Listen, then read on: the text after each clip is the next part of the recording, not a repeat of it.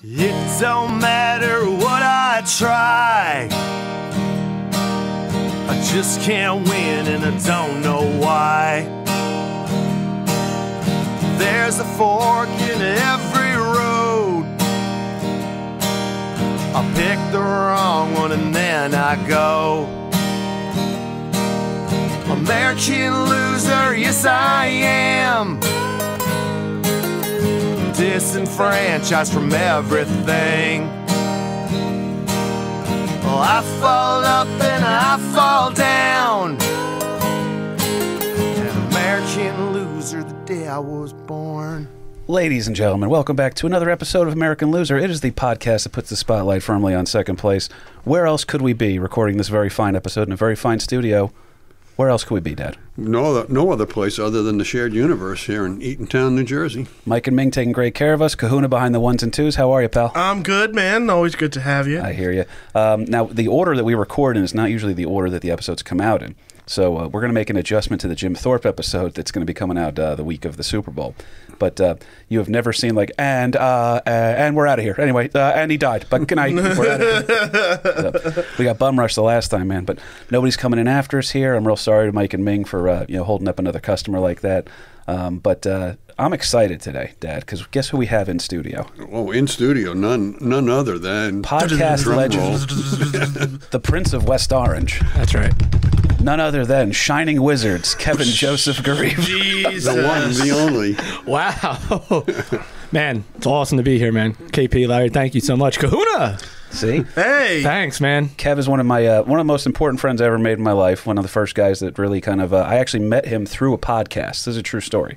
The entire he is saddled with me forever because of a podcast. That's that's true. All right. What's the name of your podcast for those who are curious? Uh, we are the Shining Wizards uh, Wrestling Podcast. Now it is a Ku Klux Klan themed show, that, correct? that's right. You know, I had some questions. that's right. Yeah, pay no attention to the We're hood. shining wizards. They're grand wizards. Because I'm not It's going to lie. When he said it earlier, I was like, is, is that a Ku Klux Klan? No. And then you're like, oh, that's the name of your podcast. And a, sh- a Shining Wizard is a, is a wrestling move. a badass wrestling move. It is a, a running knee to the head while a wrestler is on the on the ring, just kind of like sitting up or kneeling. You run and you knee him in the head. Uh, so that is the Shining Wizard. Sounds like fun. It is. It's it's a fact. It's a good podcast too, man. I really like the whole crew over there. Uh, they've been kind enough to have me on as a guest a couple of times, and uh, dude, they're killing it with numbers right now. So this is actually a get for us, Cahoons. All right, Ooh, we're this- borrowing from their listenership right now. I'm pretty happy. Well, we are, uh, you know, we are shared on the on the same platform. Shining Wizards Network. That's where uh, well, you can find this show and a bunch of other quality shows on that one, man. But uh, I'm stoked you're here, buddy. Uh, and also, Kev, real quick, what are you what are you drinking today? I am drinking a Ross Brewing Fine IPA, Indeed, the Navesink IPA. the guys. Navesink IPA, baby. Kev, I never get to say this before. The official beer of American Loser. All right, there Wow, it is. Ross Brewing's Navesink The IPA. inaugural. That's big, buddy. It is. I'm so proud of you. It's available in New York right now. They're working on a couple other uh, states and everything, but take a look for them. Follow them on social media if you can. Ross Brewing is doing some cool stuff. It's very good. I'm on my uh, second solo cup's worth. yeah, when you guys hear a door creaking and slamming shut, that means that Kev went up to go get himself another solo cup. So. That's right. of Ross kegerator. of Ross Brewing. And if you feel like planning a podcast, we actually have a very limited time only. We have a kegerator of Ross Brewing beer. So if you want I it, I think they're going to keep that keg. That's going to be a regular thing. is I it believe. really now? I'm hoping because Okay, uh, cool. If not, Because uh, you work here now. Well, so I technically, I technically am hired by Ross Brewing in order to do this, but uh, but no, it's it's cool too because the beer's good. Uh, LP, It you're- really is. You're not even an IPA guy, and you're, kick- you're No, kind of it's all digging right. this. It's it's absolutely all right. And then again, I'm not a, an IPA uh, first Aficionado. first call, but uh, um, this is all right. Getting know past me. I've come to the conclusion though that beer is not the problem. Uh, there was that quote from I think it was uh, uh, Homer Simpson: "Beer, the cause of and solution to all of life's problems." yeah, that's about right. There you It's a quote from Proof- Benjamin Franklin. Mm. Not necessarily in that order. That's proof also true, Kevin. Um, there's another quote too that I think you would like on this one, uh, Shining Wizards, Kevin. All right. That uh, Ben, uh, I believe it was Benjamin Franklin Ben said that. Franklin. Uh, yeah, Yep. Proof. beer, is proof, that, God, loves us. Yeah, I'll allow it. pretty good quote, man. Yeah. It's a, Yeah, but yeah. uh, so it's hard to argue with that. Now, what you want to stay away from is what they uh, uh, obviously whiskey has been regulated. nowadays, right? Which gets us into our topic today a little bit. Um, but back in the day, old school whiskey and old school hard liquors and stuff like that was known as. Uh, do you know the nickname for it, Dad? White lightning, moonshine. White Lightning. the, the, the- specifically, old cowboy whiskey was known as uh, the Rot Gut. Rot gut whiskey. yeah, the Rot Gut. And uh, this uh, this loser today has a little bit of experience with that. Is that fair With to the say? Cowboys, yep. The, the Old West. Well, uh, they always say don't let the truth get in the way of a good story, and today we have a good story and no way to really prove whether or not any of it's true. Okay, we're we're getting a little bit of a bullshit artist here. Uh, Kev, are you familiar with the literary term uh, unreliable narrator? I'm not too bright, KP. You're very so, smart. so no, I'm not. The the most highly educated person in the room, and he's going to put himself down like that. Nah, I, I, I'm not familiar Hey, with the I term. completed elementary school. Damn it. That's right, right. Kahuna. You sure did. It's I got that eighth grade diploma hanging proudly on the wall. well, not for that. An unreliable na- uh, an unreliable narrator, for those that don't know, is a literary device that gets used a lot in uh, TV and films and stuff like that too.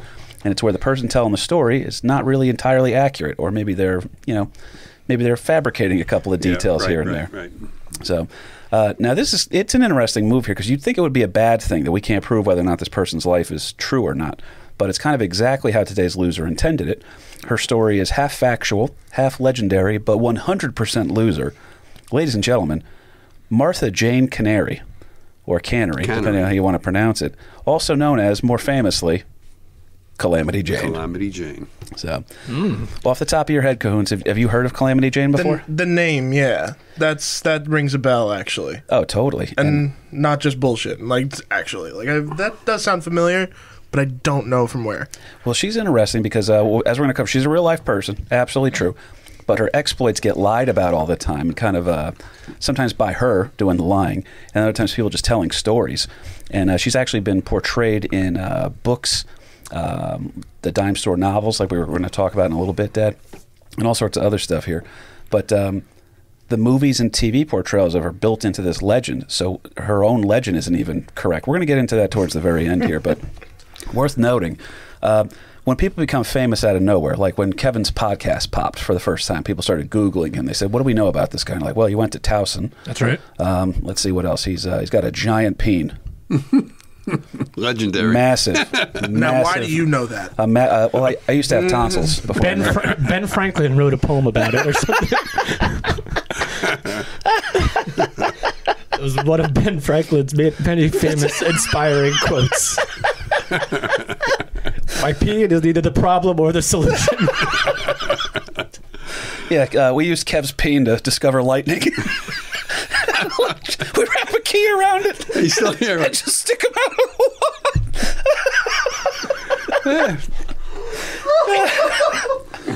All right, that might be the hardest we've ever gotten the And, uh, kahuna to laugh on the show. That's, and now I have superpowers. that's Well, that's Oh. when after the lightning struck. That's exactly right. Kevin Grillo, first human to ever get syphilis talked- from electricity. We talked about white lightning before. You look, you're looking at him. I am white I am lightning. white lightning. Oh man, Kev, I knew you were going to be money. Um, but it's always weird because when the people become famous, uh, the first thing that the journalists start to try to do is they try to dig up. Well, what do we what do we know about this person? But everything we know about Calamity Jane comes from her. And again, we, as we covered, she's an unreliable narrator. A lot of this stuff is larger than life because she wanted to, you know, try to sell her image a little bit or people trying to profit off of her, you know? Literally like what we just did there, just I'm not even kidding here. Us just riffing about Kevin's, you know, fantastic penis is um it's actually weird because uh, we started embellishing details there and That's all right. but all someone has to do is hear and like if they were in the hallway, like this Kevin Garifo guy, he must have s- must have a piece and a half on him, huh? And then that rumor gets carried around, and all of a sudden, that's your new reputation. Please spread it Far and wide. far and wide of the shared universe. We're sharing too much in this universe. Well, that's where she gets really fun, man, because uh, she's her own unreliable narrator. She wrote her own. Uh, well, didn't really write because we're going to cover No, this later. she yeah, was right. But she probably spoke at length to a ghostwriter. You know, she had a Kahuna handling uh, the sound and everything for her. Um, but uh, she would write this autobiography that was a quote written by her, but it was made into a pamphlet that Jane intended to uh, sell and uh, tour at these dime museums across the country.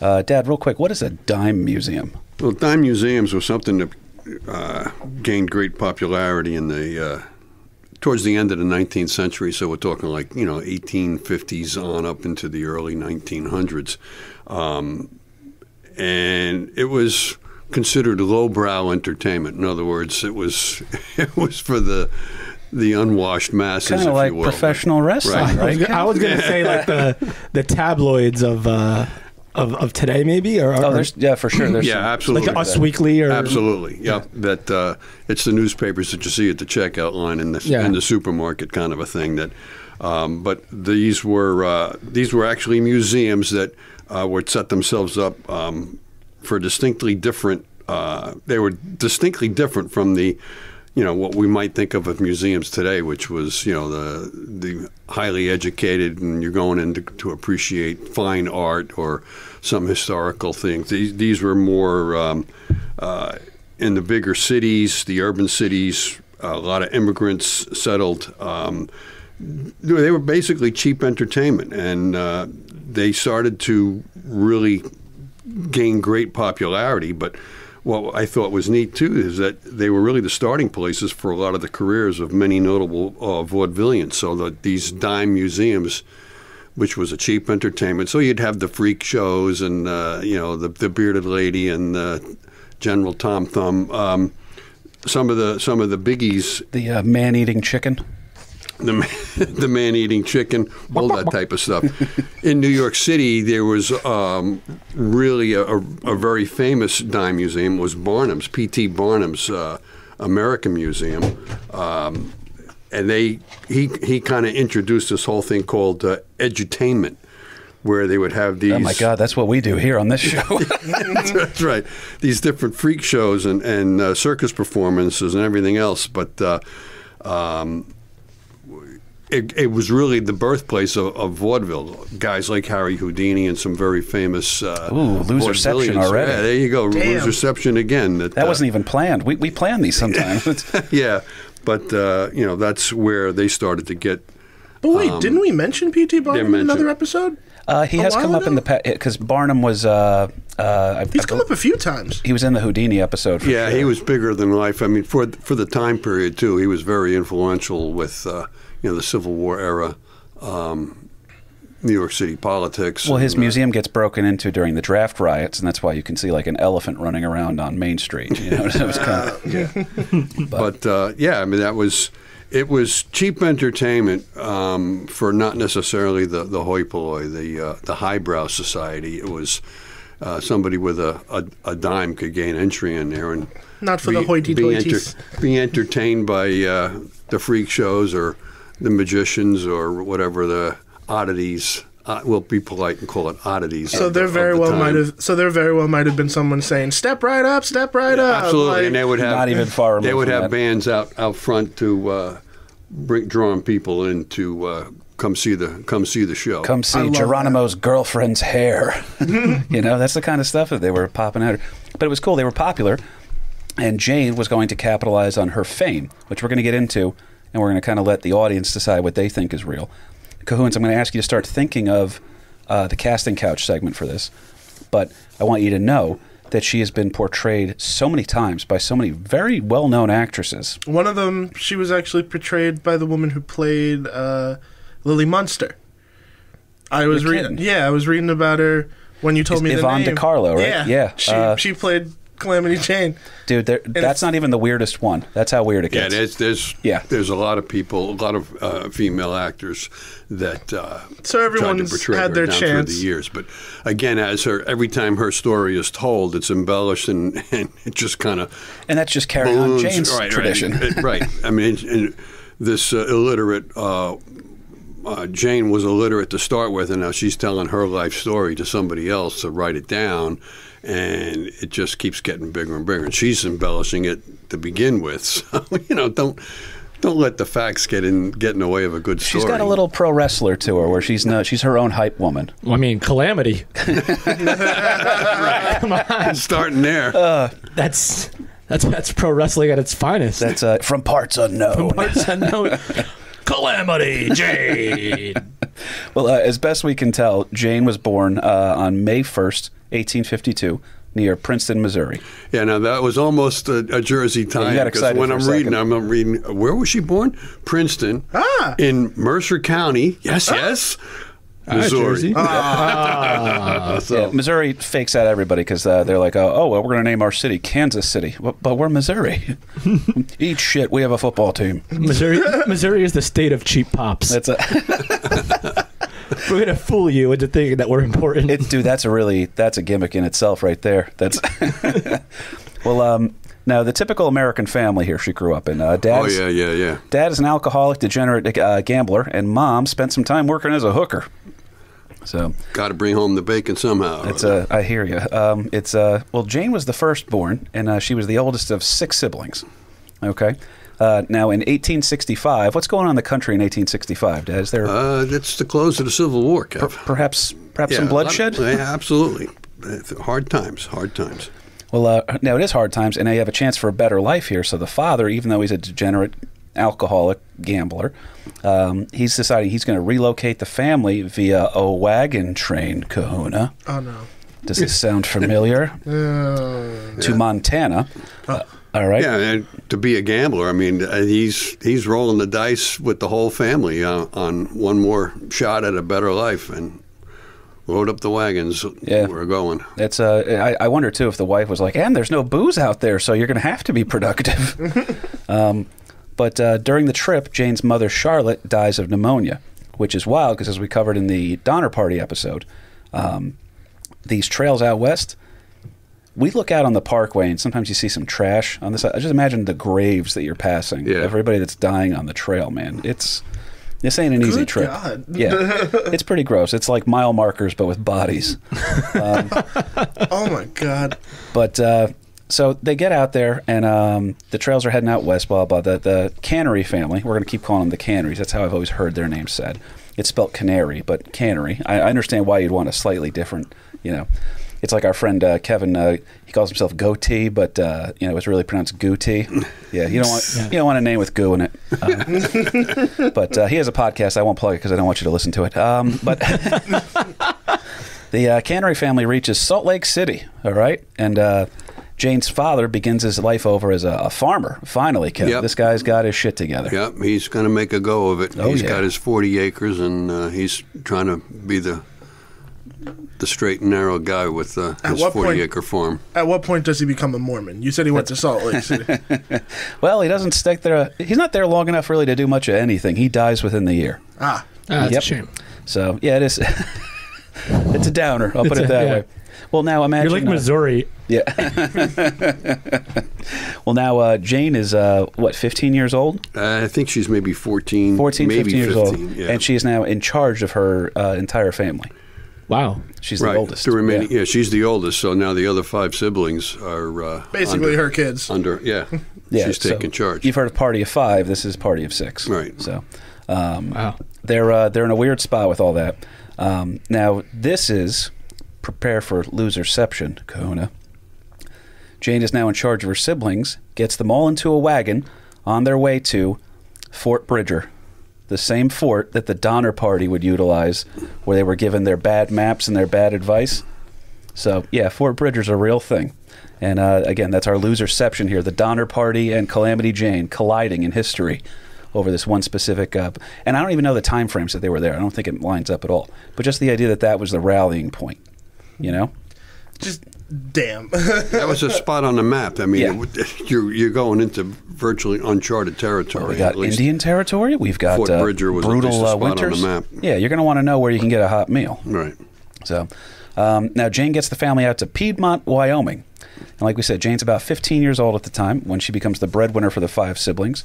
She worked uh, any job that would pay. Kevin, have you ever been in a, a capacity to hire somebody? No. No. But uh, that's not true. Bartending. Bart, well, you have an interesting resume too, because I, I know that you're a podcast host, stand-up comic. Uh, you swing that big peen hammer we keep talking about, and then uh, also uh, we did social media work for a couple different companies. You- Yeah. uh, I, I know you've worked in local government before. You're a well-rounded cat. It's weird that none of it stuck. but yeah, I've had I've had jobs all over the place. Yeah, well, So- uh, check this out for a resume here. Uh, let's see if this is uh, let's see if Calamity Jane can compete with Shining Wizards Kevin. Um, Oh, she's got me beat. Her Look- looking after five kids. she's looking after five kids, but guess how she's doing it? She's gonna she'll work as a cook, she'll work as a dishwasher. All right, and these are all things. These are jobs she held: cook, dishwasher, dance hall girl. All right. Yeah, that's um, that's like uh, dance hall girl is interesting because I think that's part hooker, part uh, like shot girl. That's your day job. Part Yeah. Fall Out Boy song. That's a. and then uh, also just to round it out, cook, dishwasher, dance hall. These are all things that'll have you in like a tavern like setting. Until Yeah. her last job, mule and ox team driver.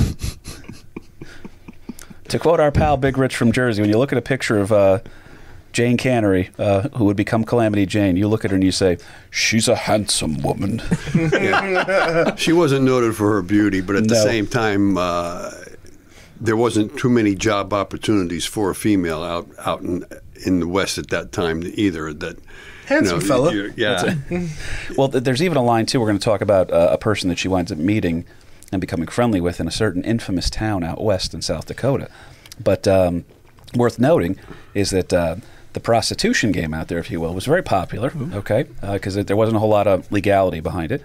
But there was uh, one madam in particular we're going to talk about later who had a thing where she was very attractive herself. And she preferred to y- work with very attractive women in her establishment. Who wouldn't want pretty girls to run a business like that? Yeah, especially out west when the the ratio of male to female It's is slim like, pickings. it's- yeah, Yeah. you're there's not a whole lot uh, out there to uh, to choose from. So Well, they told us in the Navy it was called boot camp goggles, okay, uh, or uh, or ship goggles, which is where you'd be on a ship with uh, you know a, a bunch of dudes, and the one girl that was on the ship, who was probably like a six, you know, back home or something like that. If you're out at sea long enough, becomes a ten. plus, Yes. and then also, and uh, uh, I'm not even going to lie. I know women that specifically said that they they love that part of it because it they their their value goes up through the roof. So it's it's an interesting thing here, but it winds up coming down to it that uh, uh, you can't get a whole lot of very pretty girls out in the West here because it's slim pickings, like we said. And then also, if uh, if Kevin and I are on a wagon train, That's and we're right. coming into town, right, and we're sitting there, and it's like, uh, like, listen, you can either bang this, uh, you know, th- this homely looking girl, or each other. You have no choice. That's it. what are you going to do? And I was like, all right, I've spent enough time with Kev. We've been came here from Colorado together. Um, We're not that close. You either go broke, you either go broke back or broke. that's I like it. that was a good line, buddy. That was solid. Well, Jane is uh, she's doing all these jobs. She finally finds what is going to become one of her uh, callings, if you will, in 1874, and uh, she begins working as a scout over at Fort Laramie. Okay. Uh, this job is what starts the transition of Jane uh, into the legend as she becomes more popular. Uh, all the stuff that's about to wind up in her dime store novels. That's all about to come out here in spades. yeah, just So, for the listeners uh, too. I mean, Jane is what, Kev, you actually her off on a- Thank Jane is actually her middle names, but uh, Oh, at the know, time, yeah, born Martha. born Martha, but Jane is her middle name, and that's what the handle that is about to be applied to her is Calamity Jane. which is hilarious. So now uh, the way she gets the name too, we're going to talk about here in a second. But uh, Martha Cannery, not exactly a great stage name. Is that fair to say, Dad? Yeah, it doesn't have quite the ring to it. All right. So Garifo goes. First of all, I mean, my first name's Kevin. It's Kevin Patrick Burke, right? But uh, I've met other Kevin Patricks, um, and I, I know far too many Kevins in comedy. So I Well, that's going. the Irish. I mean, they can't. They don't only have a very limited number of names to, to, to hand out when the birth of a male child. So Patrick is one of the biggies. But Kahuna, you're going to think I'm making this up. My father, uh, I think was it was it mom that was pushing for my other possible name. uh, well, we were looking through various books, but uh, I was almost named Tyrone. Get the what? It's an Irish name. it's an Irish name. No It was shit. it was Yeah. culturally appropriated. There you go. Dude, could you imagine if I came in and you're like, oh, it's uh, it's Tyrone Hello, Burke. welcome to this episode of American Loser. My name is Tyrone Burke. oh my god, I'm just gonna call you Tyrone for the rest of this. Well, I also had an, another weird one too. Is that a, a friend of mine? His name was uh, Daryl Tate. He- Okay, one of my great pals. I love him to death on the USS Carney. And they told me that when the orders came through, the way that he spells Daryl, he didn't spell it the traditional way. He spelled it D A R R E L L. And uh, one of the chiefs was looking at us. We got this guy coming in, uh, and now Daryl Tate, good old country boy from Georgia. Okay, you know, tall, uh, like as pale as me, you know, and um, funny guy, very handy guy. But uh, the chief's looking through the orders. He goes, "We got this kid Darrell Tate coming in." Darrell. So imagine they're, they're sitting there waiting for a black dude to show up to pick up at the airport, and then all of a sudden, just country bumpkin Tate comes in. That's me. I'm Darrell. Daryl, it's Daryl. It's Daryl and Daryl. Daryl. It's Daryl, sir. And Tate, if you're listening to this one, pick your head up, okay? You always lean your head. but uh, again, uh, Martha Cannery, not a great stage name. She's going to start going by Jane Mosey at this point while she's serving as a scout. Uh, during a military patrol. Now, they send this military patrol. What are the indigenous people of the plains? How are they handling um, this westward expansion? They're not really happy about it that No. they're coming in on their on their homelands actually, and Yeah, and they've been in a later episode before. we'll find that uh, actually they're in Indian Indian territory. We're on their turf. Right, they're they're on their homelands. no doubt. exactly. Um, but it's pretty wild that way because, uh, like we said, she starts going by Jane. She's going to get this new name after this bloody skirmish that they're on this patrol. They were out for a couple of days on uh, horseback, and uh, Jane finally gets her uh, her new moniker. Uh, you don't got to worry about locking it, Kev. Um, but uh, Jane gets her new moniker here. Uh, this patrol is under the command of uh, Captain Egan. Okay, nice Irish boy. Nice Irish boy. Thank you, sir. Uh, Egan's an, a, a former bar that Kevin and I used to hang out in West Orange. Um, but Captain Egan's party gets ambushed about a mile and a half from their post. They're on their way back. They're done with their patrol, and they get ambushed here. Now, during the the actual mission, they had six soldiers were killed. So, th- like, they saw some heavy action. Uh, now, Captain Egan gets shot, and uh, Jane's uh, out riding as the scout. She's out in front of everybody. Now she turns around as soon as she hears the gunshot. She sees that Captain Egan is about to fall off of his horse because he's been struck, and she takes off like a bat out of hell, rides up next to him, catches him before he can fall off the horse, throws him over the front of uh, her saddle, and then rides him the next mile and a half safely back to the post. So she basically saves his life. Yep. Uh, in action. Yep. Now, uh, when the guy's healing up, he respectfully but laughingly joked, uh, I name you Calamity Jane, the heroine of the plains. And uh, Jane goes, And ever since that day, uh, I've just been going by Calamity Jane. Yeah. Now the only problem with that whole story is we got that story from Calamity Jane. Yep. That, uh, there's no no way of verifying that that's actually the way it went down, but it's a good story. We have a couple sayings on the show. Uh, don't fuck with TR, all right? Uh, don't mess with Boston will get you, okay? We've learned that. And then um, also, not for nothing, um, no, you can't trust somebody who gives himself their own nickname, okay? That's just kind of what it is. Well, So- that that was her. Uh, that was her take on how she got the name Calamity Jane. There were there were others, but uh, there were there were two others that were pretty good. Um, now, Kev, uh, you ever throw some game at a uh, a damsel at a bar? Always. And does she, Always. does she ever uh, does she ever warn you that uh, you're not ready for her? Yeah, they all do pretty much.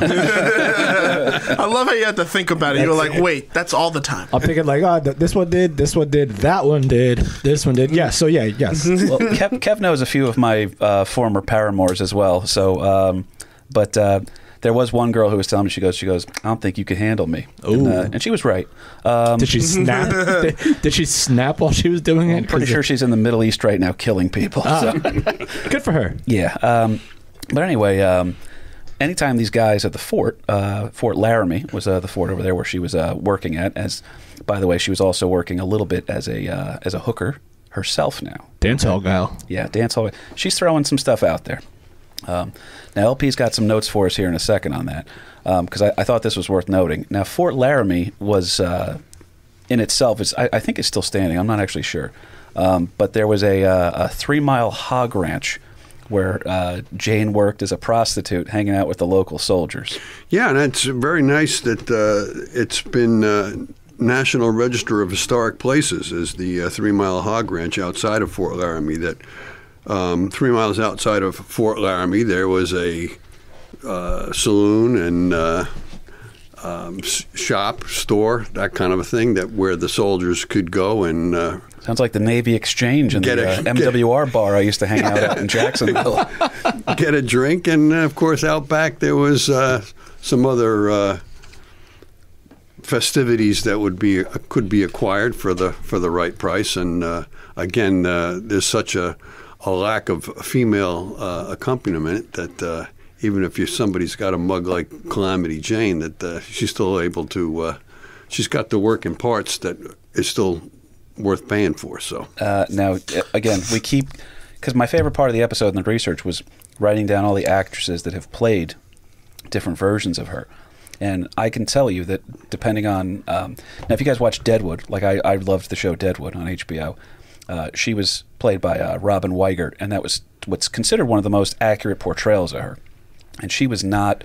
I think she gets into like a lesbian relationship on the show, and um, they talk about uh, it was a whole weird thing where she never really had a guy around. She was very rough looking. She was dirty all the time, very drunk. But um, if the uh, some of the other actresses were playing her that we're going to cover later, I'm going to remind you that we said this.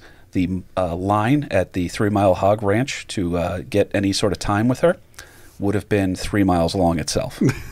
so, um, but yeah, so she's uh, she's yeah, and the whole term hog ranch is is, is just a uh, slang expression that uh, there was a, any number of different uh, so-called hog ranches along the trails uh, in Wyoming. That that was just a place that you know what, what you were going Right. there for. That's a- drink- Oh, and a I didn't drink. put that together. Yeah, Oh, so a hog ranch was like. Ah, Yeah, right, all right, right, all right. right. I'm picking up what you're putting down there. right. There you go. Is it bad that now I get it? I didn't. Get, uh, Kuna, I didn't get it either. No, like it now it's clicking. I'm Uh, Okay. Well, you know what it is? Here's why you were confused because it's a three mile hog ranch and you have a hog and a half. no, that's not. tr- All right. So that's the end. Well, a, ho- a, a hog ranch seems like a feasible thing that someone in like the Midwest, the West or Midwest would have. Are we there still, or Well, uh, it, it's. I'll tell you what. It kind of has a vibe of, uh, say, a cat house, all right? right? Which we're going to explain. get the, into later. The All right. etymology of that. I'm word excited. In a second. Yeah. I'm That's why excited. I told you it was going to be a good one. Yeah. We don't. We really don't do bad episodes here. We have ones where it doesn't go as cool as we want it to, but this one is going to be a home run. Um, so James, Fa- uh, you know, she's an interesting lady here. Jane is uh, making. You know, we can't prove that, that story's true, but what she would tell the guys at uh, Fort Laramie is that uh, whenever they were trying to get with her, like flirt with her a little bit, throw some game her way, she would say, "You are attempting to court Calamity herself." So then her nickname started to become Cal- so she gave herself her own nickname, but like in a uh, a, self um, uh, a self referential way that uh, it kind of took off from there. So they think that's what. Now she was very popular on base. Why wouldn't you like this chick? She can cook, she can clean, she can scout, she can drive your mule and ox team, and she'll blow you. Yeah, she's a, she's one of the boys. I mean, she's She really is. Yeah. she is one of the boys, but at the same time, she's got the the the body parts that make her not one of the boys and a little more friendlier than the boys. So, so can I ask you guys something? Talk to me. no, no. This is. Do you think the fact that she was trying to give herself her own nickname was trying to build up her own reputation, Totally. so that people would just know who they're dealing with when they see Calamity Jane? Absolutely, Right. and it works. Okay. So- okay. So yeah, there's Yeah. something Right. to be said for that, I guess. right. Oh, absolutely. Yeah, you called it before a stage name, and she's not on the stage at this particular point, but she's she's gaining a reputation just by her name.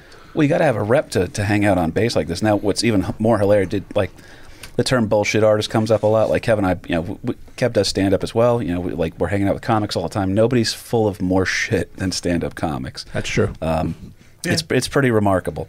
Um, but uh, so they love to talk about themselves, put themselves over it, and you just feel like, oh, this guy's a nice guy, but he's a bullshit artist. So Jane's funny, right? Everybody likes her on the base because she gets drunk all the time. She's very generous. Anytime she has money, she's buying the boys Right. drinks and stuff.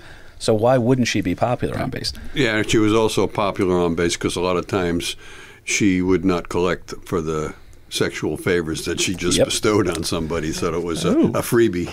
Yeah, she Ah. was a she was a quality gal. all right? Philanthropist. That's a, Philanthro- philanthropist. no, you got it. That Oh, was it. beautiful. So stick to your guns. All man. right, I'm done. Believe in yourself. I'm out. Have a great show, guys. It's the, uh, you know what it is? Um, Kev's usually uh, he's usually a Bud Light guy, but that is the Ross Brewing Navesink IPA slowly working its way through his brain. I'm never sinking, baby. the, the pun master. Um, but not for nothing here. Uh, some of the officers on base, when they were asked, like, you know, everybody's she's cool, everybody likes Jane, but somebody goes, "Oh, is it is it true what Jane would say?" And officers on the base actually even wrote written accounts where they spoke to um, local papers and stuff, saying uh, Jane was merely just like a likable hang around. You know what I mean? She wasn't. She never saw an Indian fight. She never even witnessed a lynching or anything like that. All these stories in her dime store novel to to get her that tour, right? She was making shit up because she wanted to bolster her reputation, like Kev was saying. So, uh, and then, like we said, she's uh, words to describe her. By the way, I thought were uh, devilish and notorious. Those were words that are getting thrown around about her. But like we said, she's a popular chick. Uh, it's it's easy to see why she would be. Um, Kev, off the top of your head, do you know the definition of the word calamity? Just from what I've seen on cartoons in the, in the early '90s. No, I don't. Well, the uh, Nonsense. The definition of calamity is uh, an event causing distress or sudden damage, also known as a disaster. Ooh. So, if uh, if a girl introduced you, "Hey, what's up? I'm the disaster," and then you'd be like, "Well, I'm the situation." So, The master of disaster. folks around here call me the grenade. Uh, I know her actually. She's very sweet and very pretty um, in real life. Um, anyhow, uh, another story that uh, Jane liked to tell. Um, and by the way, this is hilarious too because uh, there was a, a famous picture of her that we pulled up from the Wikipedia page that was um, of uh, it, literally the photo is known. The description of it, you know, Calamity Jane smokes a cigar while making breakfast.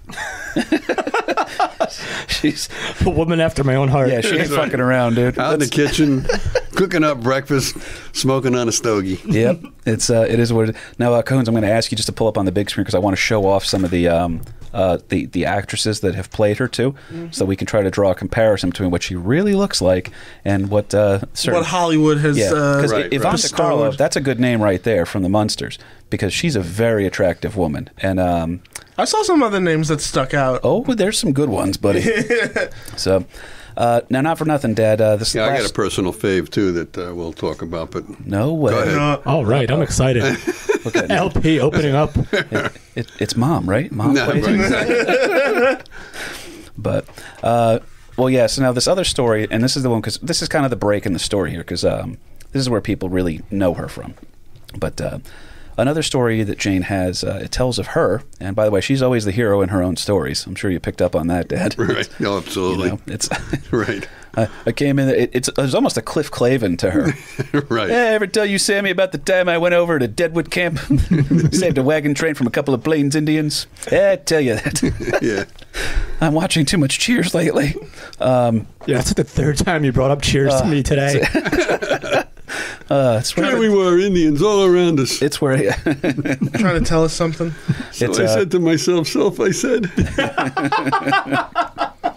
yeah, that Florida. Let me tell you. Um, but uh, here's the story that Jane has. She bravely swims across a dangerous and freezing river in order to deliver these important dispatches critical to the U.S. cavalry. All right. Like we said, she's always the hero in her own stories. And while she's recuperating from an illness that she acquired from her heroic endeavor, she holds up at uh, Fort Laramie. Okay. And she uh, then, when she's there, is uh, a wagon train comes into town with a couple of people on it. Um, these are more names that I think, if you guys know Calamity Jane, you know these other names. You just don't know why you know them. So, uh, Kev, off the top of your head, I'll tell you what. I'm going to ask Kahuna first. I'm going to be tough on Kahuna. Uh, Charlie Utter. You ever heard of him? No, not even. Known as Colorado Charlie. No, ah, good old that, that CC. doesn't ring a bell. That's not even. Not even a little. he's not the one that's going to ring it for you. What about um, James Butler Hickok? Yes. Yeah, I know also, that name too. Also, you want to talk about a stage name? What's what do you think is James Butler I, Hickok's I, stage I, name? I know that. Talk to me. It's Wild Bill, right? Wild Bill Hickok. Wild Bill. You want a good nickname, man? Oof, that's the one. That really is the one. So, by the way, if you look at him too, and you just look at like the picture, because I believe that's a photograph of him. That's a pro wrestler right there, if I've ever seen one. Literally, he looks like he should be uh, Jake the Snake Roberts. You know, but he's a handsome guy. Yeah. There's, a- there's actually a little Larry Burke to him. If I'm looking at him, you ever think about growing your He's hair? got hair there? though. That's Dash. He's got hair that he can grow out. It's. I'll, I'll tell you what, man. If uh, if you had my hair and I had your mustache, man, you we'd go. have been something. There you It's- but um, so, Dad, off the just briefly here, um, this Wild Bill Hickok wagon train is now coming through Fort Laramie. And it's not really his train. He's not running the train. Um, No, the other guy, Utter, I believe, is the. Uh, well, uh, yeah, Charlie Utter wagon big on that. master. He is that, but um, it, it's Wild Bill is a celebrity already. Absolutely, he's already a folk hero of the of the American West, Well, if you will. That- Let's not burn him for, and because I, I think he would be fun to revisit for his own solo episode. Absolutely. But let's let's tell the audience a little bit about this guy. Well, he's just a, uh, as I say, he's a, a folk hero. He's a he's a drover. He he's had been a wagon master. He's a Civil War veteran, a soldier, a spy, a scout, a lawman, a gunfighter, An actor? a gambler, a showman. He was an yeah, actor. An actor, uh, absolutely. Um, so he, he is it, and he's a larger than life, uh, larger than life figure. He was a Russian asset too, wasn't he? Didn't he interfere in the elections? I can't remember. I might be confused. That was on a download. um, but yeah, he's uh, he's he's a well-known celebrity, if you will. Uh, but his celebrity is by his own exploits, not because of his acting ability or something like that, but just Well, the- you the shoot shit enough people, they're done, gonna find out who you Right. are.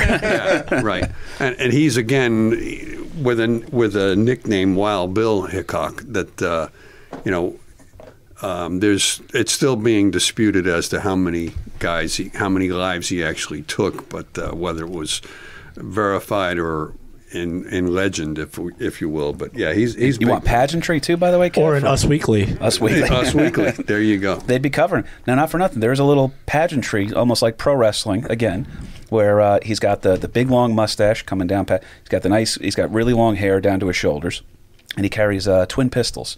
All right, and he's got a badass reputation and a stage name. He is entrance music away from entering the King of the Ring tournament. Oh, he probably had it. he probably had it at King of the Ring tournament. Right. Number number thirty in the Royal Rumble, Wild Bill Hickok.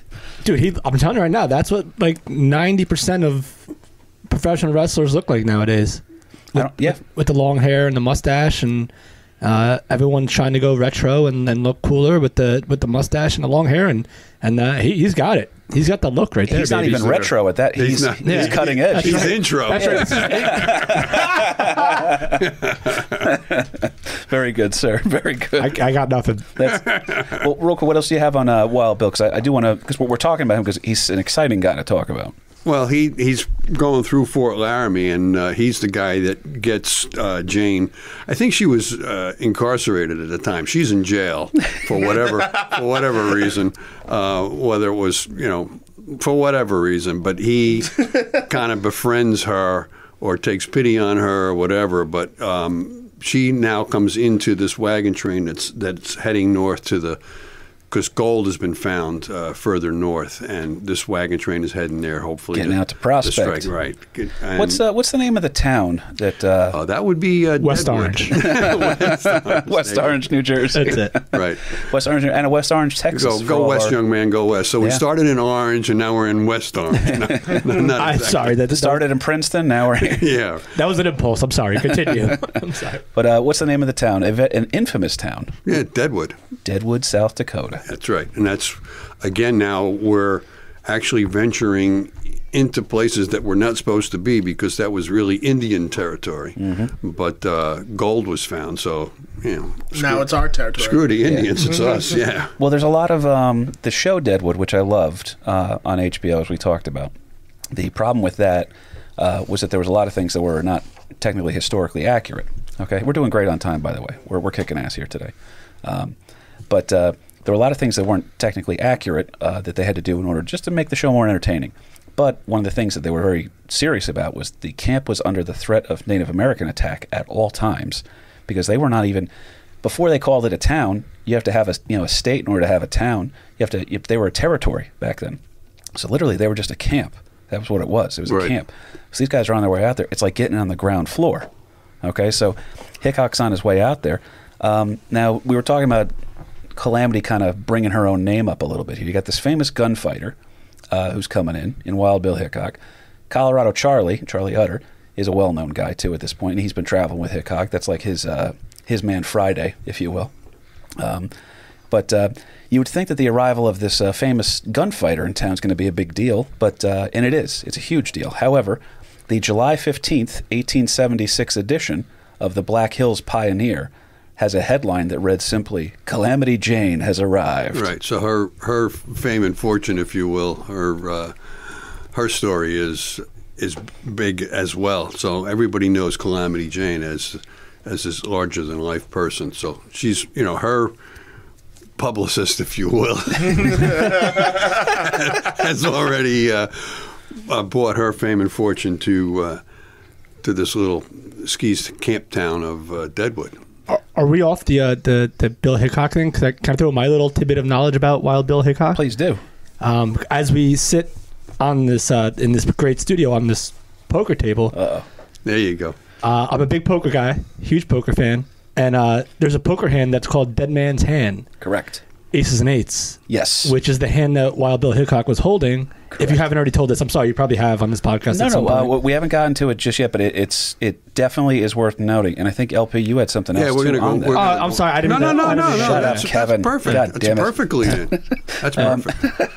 because I'm a, I'm a huge poker guy, so when uh, No, that's why it's perfect. Yeah. Yep. We, we have to get into. Um, so they're just coming into town right now. So this is where all these events. It's almost like every single day in Deadwood, history is being made. It really Right. is. Right. Um, but But it's at this point in time too where Calamity Jane is in, like infatuated with Wild Bill Hickok. She, you know, the sun and the moon and the stars all align around Wild Bill with uh, as far as Calamity Jane. But that was not necessarily reciprocated. That uh, Wild There- Bill there's reports. there. There were, yeah, and, and then to hear Calamity Jane say at one time they were actually married, uh, but that was it gets yeah. unsubstantiated, if you will. Well, th- let- let's. I'll tell you what. Just because uh, there's so much wild knowledge about this guy, and I want to make sure we just present the info in the right way so that the audience can kind of track with us. So they're getting into town, all right, and she's making the papers, and they're like, "Holy shit! Calamity Jane's in town. Wild Bill Hickok's in town. Colorado Charlie's." So if you're a local, you know, guy here sitting like, oh, oh, how much longer is this going to be my town? Am I about to get kicked out of my own camp? Kind It's of a thing? Calamity Con. Yeah, right there- there's Calamity there's Con. Uh, that was that was money, my friend. yeah. Two I mean, gems. if you're looking for characters, I mean, Deadwood is just absolutely chock full of characters. Oh, that's why it made such a great yeah, show. Absolutely, Uh, and Those are the cosplayers. it's yeah, the, these people are risking everything with the opportunity, with the with the hope of uh, you know making it making it rich with the with the gold. well, I'm going to ask. Never mind that it's you're on Indian territory and you're not supposed to be there in the first place. But that's you know, there's Well, we a- don't there's talk a- about that. There's a huge there's a huge risk and a huge gamble for everybody involved. So everybody is is a character in in, in Deadwood. Very much so. Now, while we're bringing this next point up, Kahuna, do me a favor and just uh, look up Deadwood on uh, Google Maps and see how far it is from the studio, if you don't mind. Mm-hmm. So, uh, not for nothing, Jane arrives into the camp. She rides in with Bill Hickok, who, like you said, she's got an infatuation with. Depending on what reports you're hearing from Bill Hickok, he either, like you said, Dad, winds up being married to her in secret, kind of a thing, or that they were in love with each other, or, uh, as one person said, he had nothing. He, he didn't give two shits about Calamity Jane. You know, Yeah. it's kind of like uh, it's kind of like when when Kevin walks down the street in West Orange and women just start throwing themselves at him, and he goes, "Please, ladies, all right, you know, I don't have time for this." Yeah. That's, what, that's what we call the hog ranch. Yeah, and Wild Bill's a good-looking guy. Let's let's Uh, face we it. saw the picture. And now you got Yeah. Calamity Jane, who's noted for not being the most attractive female Mm-hmm. that God put on the face of the earth, and she is noted for the being in buckskins in men's clothing kind of a thing. That she's not. She dresses like a dude. She- yeah, she- yep. she dresses Uh, like a dude. smokes dude. cigars while she makes you breakfast, kind of a Right, thing. right. Oh, Wild Bill, did you marry Calamity James? I ain't married no Butch. Well, uh, you brought it up here, Cahoons. So Deadwood, South Dakota, which uh, a place I want to go one day, All right. um, very badly. Twenty-seven hour drive. 27 hour drive. Doesn't look like traffic's too bad right now. there we go. It's Kahuna and the uh, the Channel Ten copter up here. It Looks like it's gonna be- Thanks, KP. So it's looking like traffic is going to be perfect for your for your excursion to Deadwood. It's about uh, thousand seven. Uh, well, shit, I can't read numbers today. I had a stroke there. One thousand seven hundred and seventy-eight miles. Oh, that's no, Kahuna, no, that's our eyes in the sky. The eye in the sky. traffic report. Just drop me off somewhere in Missouri, please. And that's Kahuna's report on Eyewitness News. We got um, Nice. So 100, 1,778 miles. there's no way we're going to have a Jersey connection with Deadwood, are we? Uh, Oh, what the No. yeah, We with Deadwood. can we? Yes, we will. Yes, we will. What is this? Show your work, Larry. There it is. There it is. All right, He's here we looking go. for proof positive, and we have it.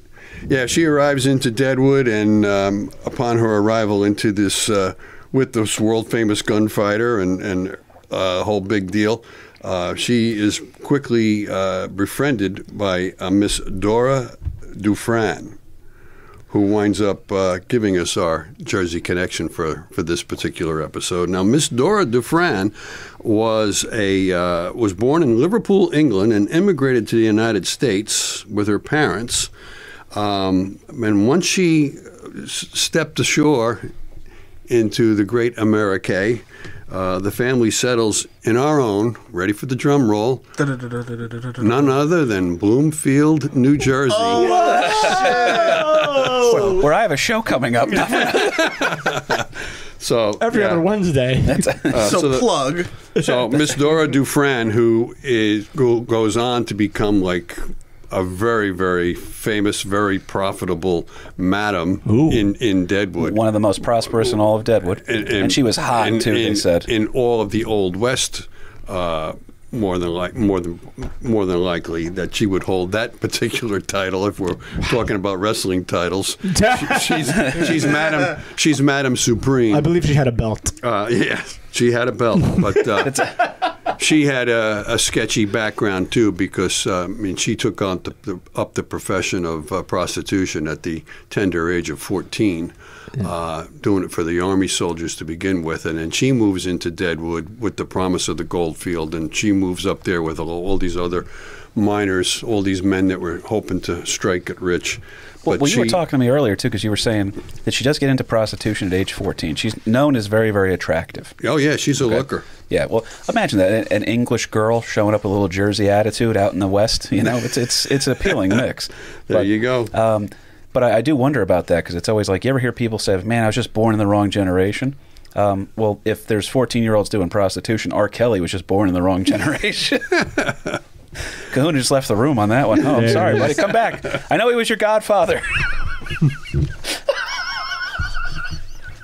I'm actually going to leave the room and uh, get myself some of this beautiful if I may. Ross uh, Brewing Company Navesink uh, IPA. there you go.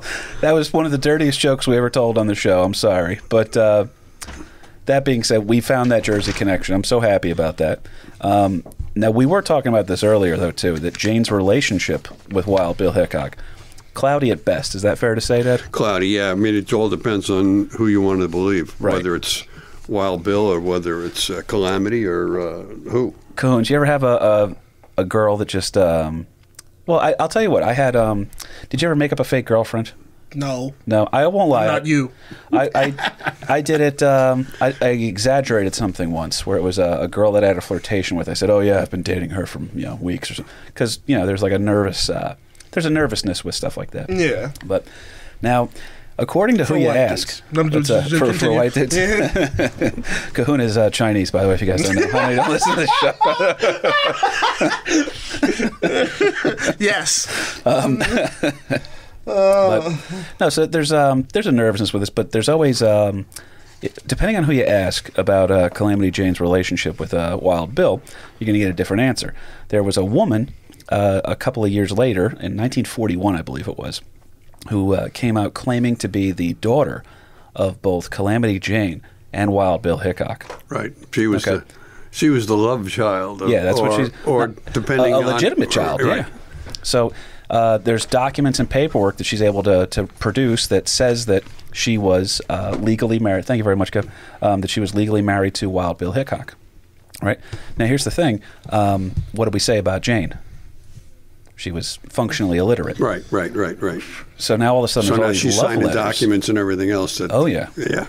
and she's got like 250 letters that were written uh, to her uh, by her mother, kind of a thing. She's like, "Oh yeah, my mother kept. She was, we were pen pals." And all that. Not really, Yeah, know. And she right. can't read or write, dude. Right. Um, so those uh, everything here, the skeptics are kind of they they pretty much debunked that. I like I like how Calamity James and Wild Bill kind of have like a Kermit and Miss Piggy kind of dynamic. Back to the puppets. She drives me crazy. oh, oh. oh man, No, that's uh, that holds up too. is it not an episode of American Loser where I don't make at least one Muppet reference? Well, like, come dude, on, I love it. Your That's charm. perfect. I'm a That's big right, Muppet guy. That's right on target. Again, Hog Ranch. That's Do not- Oh, you motherfucker! well. Um, these uh, supposed signed documents are pretty much debunked here. It also gets a little bit wild, pun intended, because uh, Jane, get this. Uh, if you ask some of the people that knew Wild Bill, they said that he had absolutely no use for her, that she was like a nuisance to him. Okay, then she's saying that oh, this is uh, I cared so much for him, I was in you know in love with him. But then this woman saying oh, they were secretly married, and I'm actually their love child, and all this other shit. Uh, meanwhile, Wild Bill had just been married to another woman at that point Right. already, so it's very doubtful that that and there's a lot of letters uh, that Wild Bill wrote because he was literate. Yes. That he's writing to his to his wife and Yes. everything else, and it was not that you would be writing your your wife about um, this new love interest, but uh, in Calamity Jane, but. Uh, Got this scrappy drunk chick always following me around. yeah, It's right. weird. Dresses in, in buckskin and, and dude's clothes. Yeah, it's uh, well, she's uh, she's a trip that way too, though, because Kahuna, guess where Calamity Jane wanted to be buried when she died? Uh, our own New Jersey. a, a smart guess based off the ratios of information we provided over the year or so, but um, no, uh, she wanted to be buried next to Wild Bill Hickok. So imagine that. Imagine a girl who's in love with you. That you're like, that's nice. Okay, I got I got my own thing going here, and um, she winds up getting buried next to you.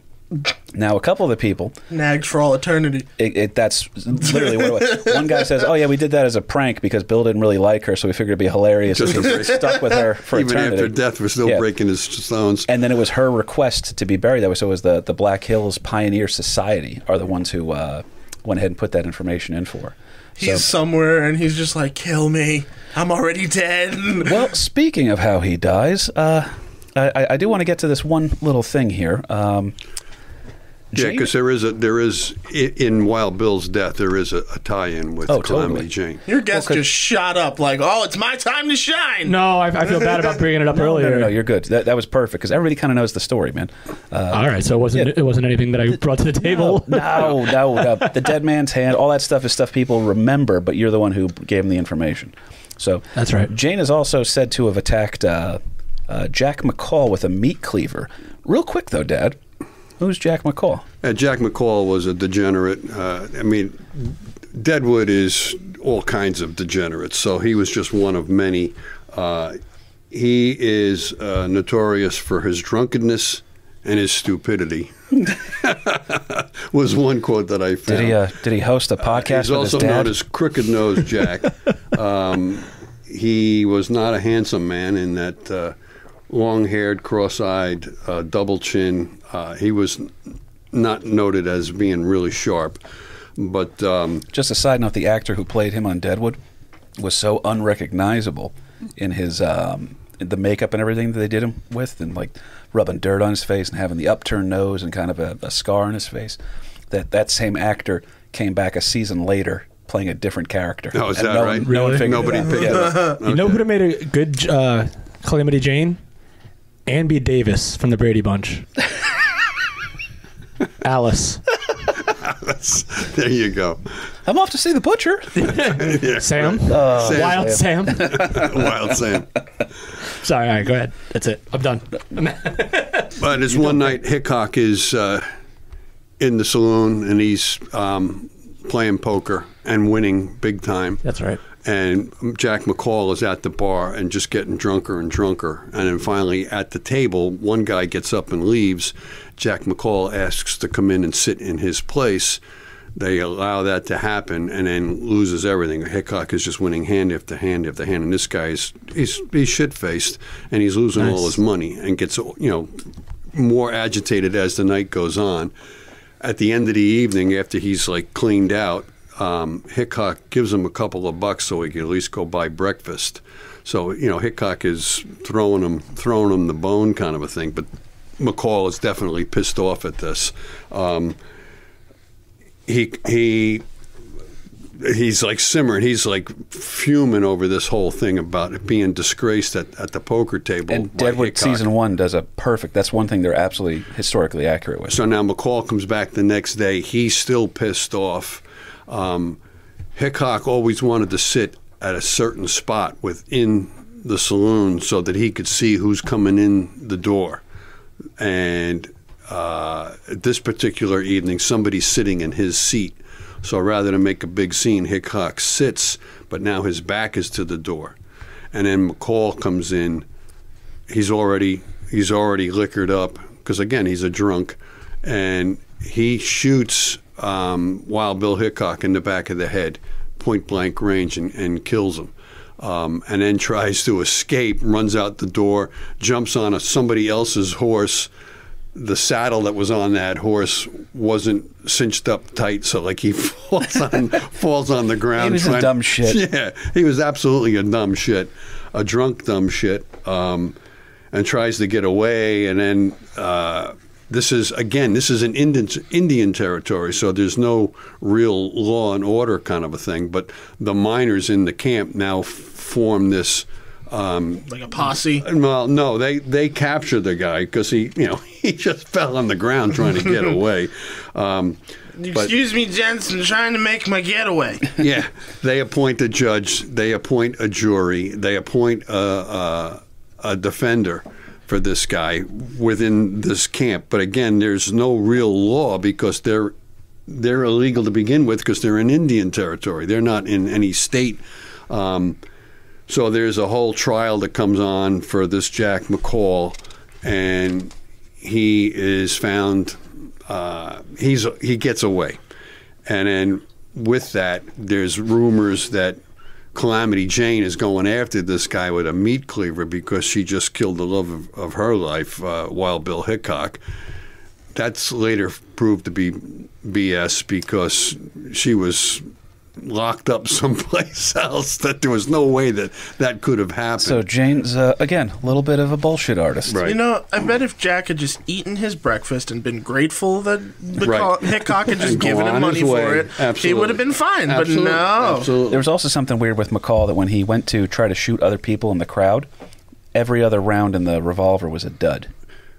Oh, is that It's a right? true story, yeah. Okay, and Um, and at his trial with these miners forming this, you know, quasi uh, trial uh, thing, McCall claims that the reason he shot Hickok was not because of the poker game, but because Hickok had shot his brother earlier Yeah, total in the other, ter- which was proven to be later on. I didn't know that total part of bullshit. the. I didn't know that part of the story. Yeah. It's a fabrication. And, and, Uh, and Hickok was holding a pair of aces and a pair of of eights. So aces and eights have always become known as the dead man's hand. Yeah, and it's referenced all the time in poker so cool. Right. ever since. Right. And then, um, so that goes on today. McCall gets out. He he goes off to the uh, to the other territories in Wyoming. And He starts bragging to anybody he meets. I killed Wild Bill Hickok. That he's using that as a bragging point. A lawman in that other territory. Now that he's back in legal U.S. territory and not in Indian territory, there's a second trial because because that first one he, it's not double indemnity that there's a second trial Yep. because that first one was all bullshit. We were in, you were in Indian territory, so he's tried again. Uh, while Bill's brother comes to that trial, they find this guy guilty, and it's later found out that in that first trial he was claiming that he killed Wild Bill because Wild Bill killed his brother. That's total bullshit because he didn't have a brother. Yep. So, uh, but they they hang they hang this guy and uh, um, they bury him in a in a Catholic cemetery. Years later, they dig him up and they move the cemetery because they're going to put some hospital or some building in there. And when they dig the guy up, he still had the noose around his neck from when they buried him after the hanging. So uh, This dude was only 24. Mr. Jack McCall got his uh, got his just due for sure. now, do you know the name of the uh, the saloon that he was uh, killed in, Kev? Uh, that would be Egan's Saloon in West West, Orange. New Jersey. no. So, no, I don't. I don't. Sorry. It was uh, Nuttall's number ten saloon. That so sounds Tom good. Tom Nuttall was the guy. He was a character on Deadwood too, a real life character, but it was his. Um, yeah, that, that was uh, the place that he was shot at. You can still visit it. It still is a standing place over in Deadwood today. Um, That's cool. But that being said, here, um, so Wild Bill's dead now. All right, Deadwood is starting to get civilized a little bit here, slowly but surely. They want they're attempting to get uh, recognized as a, as a you know no longer a territory. They want to be a state. Now the question is, are they going to become part of Montana? Are they going to be a South Dakota? Is there the Dakotas? What I mean, this is wild. We take it all for granted right now because that's been settled since we've been born. But uh, they didn't quite know what was going to go on with all this. Um, now she remains in Deadwood, so Jane's still hanging out over here. Yeah, we're back to Calamity Jane. Oh, yeah, we, we, to- we took a side. But you have to. sidetrack, It's such yeah, an yeah. important part of the There's so many, so many characters in interwoven with uh, Calamity Jane's life that you have to. Well, uh, Jane stays in Deadwood, like you said, Dad, and um, she, following you know the death of Wild Bill, her reputation is kind of similar to her reputation she had over at Fort Laramie. She is uh, wild and devilish, but likable. People would see her drunk out all the time in the streets. She'd be you know just kind of passing out here or there, whatever. And um, she also maintained her friendship with uh, Madame DuFran, Ooh. and uh, even worked for her for a while as a prostitute. Right. Okay, so Yeah. Now, Madame DuFran um, noted herself for uh, that she was only hiring good-looking prostitutes, and the girls had to be clean, Yes. whatever that might be. But yeah, uh, what, what what did that mean back then? in hard times, in hard times, a uh, bath a week kind of a thing. you right, what I mean? right, right, So right. totally different definition nowadays. Uh, correct. All right, um, no, no, it's just, Yeah. you're you're right. um, but uh, Jane has an interesting couple of highlights uh, with her time in town here, Dad. She uh, saves a stagecoach that's being attacked by Indians. She winds up saving the lives of almost everyone on board, except unfortunately that while she's diverting these Plains Indians that are attacking the stagecoach, the uh, Native Americans are able to kill the driver. And uh, so, because he's dead now, the guy's dead in the the, The stagecoach. driver of the stage is dead. So now uh, Calamity Jane is going to throw herself from her horse onto the stagecoach, okay, heroically, then take the reins Nice. and bravely drive the stagecoach back into town, saving everyone on board. now, did she actually do that, or is that? Um, Well, hang on. No, it says that there was a source here. Oh, oh shit, it was her too. Yeah, you're right. Yeah. Was it really like again like one of her apparent this happened or like uh, well, that again, that one's up not for known? it's up for debate. It could be because now here's the thing: there could be ten percent truth to every lie that she tells. I'm Yeah, sensing, she might have driven a stage at one time into Yeah. town, and everybody was saved on board. But Yeah. whether Or- she was fighting off Indians, Some Native Americans might have seen her and then said, "Oh, there's people here. Let's get out of here." kind of Right. thing. See, like I'm so intrigued, and this might be a question to tie the bow on the whole episode. But like on a scale of one to ten, where do you think she was on the bullshit meter? buddy. No one knows. like, like in your personal opinion, KP, It's um and then I'll. The the fact that she's able to because uh, there's a couple other weird Okay, things here yeah, too. th- that's this might be a question to tie the yeah, bow let's let's Oh, get to the, let's yeah. get to the end, and, and then Sorry we'll ask that. that. question because there's That's a good question. There's more things that are going to pin the bullshit meter. we're uh, we're wrapping up here, Cahoons. Oh Um, no! Ignore this. I'm literally. The, It's funny because Cahoon is like, uh, he goes, guys, relax. Don't pay any attention to the sign I'm waving towards you. the sign says wrap up. You have five minutes left. he goes, it's just a fan. Um, but she's uh, also credited with, uh, and this one has been pretty much confirmed as true. There's this diabolical uh, smallpox outbreak in town that nearly ruins. The, I believe it's back when Deadwood is still a camp. They're not even a town yet. Right. And uh, smallpox, still no laughing matter, but uh, back then that was a death sentence. That was that was the AIDS of its day, if you will. And um, smallpox is just running through town like crazy. And Jane is, well, okay, let me help take care of some of these people, man. She was working as a nurse, trying to keep these people healthy, get them back up on their feet, make them comfortable if they were too far gone. So she's uh, she's got a lot of good in her. There's there's a good heart Right. here, but she's wild, and she is a drunkard beyond drunkards. So. Um, like uh, Kev, I'm sure at some of your, uh, I know you're the mayor of West Orange. So That's you're, always- right. you're bouncing around uh, to the different establishments. There's always um, there's always those guys that uh, you know you know it's time for them to go home when uh, they just Oh yeah, not even words anymore. hundred percent. That's right. First of all, they come in not saying words. It's actually when they start speaking words. That's when you know you have to like, throw oh. them out. when they actually start making sense, that's when it's time to go. Well, that- that's that's why Kevin's a good bartender. He knows when. When they make sense, it's time to go. You gotta go. We're advice to live Because this by. isn't like you at all. Right, right. Well, uh, she also not for nothing. She has a big heart here, but she also can be kind of cruel at times. So the uh, she helped procure ten girls in a single trip uh, to Nebraska. She goes to Nebraska and comes back with ten women, ten relatively attractive women, uh, through nefarious means. Some people say that maybe they were drugged or coerced, um, and they were brought into uh, a life of prostitution at the infamous Gem Saloon, which burned down in Deadwood but was rebuilt as a theater, I believe, uh, owned by Deadwood's most notorious resident. Uh, Kahuna, did you ever watch an episode of Deadwood? no, never. I'm telling you, one of my favorite shows of all time, and the lead character, if you will, the guy who is the scene stealing son of a bitch in the entire thing, is Ian McShane as Al Swearingen, who's a real life character. Okay. He was a pimp. He was kind of running the town. He was the boss of the camp, if you will.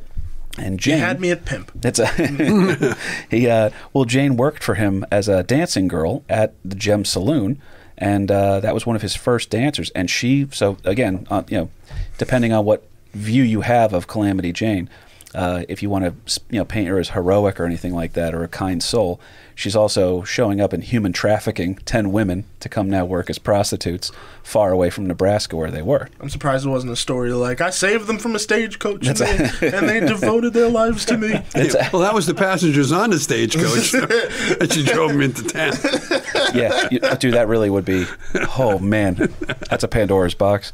Um, but yeah, so uh, Jane was again rough looking, but because of the slim picking, she was able to work as a prostitute again here and there if she needed to.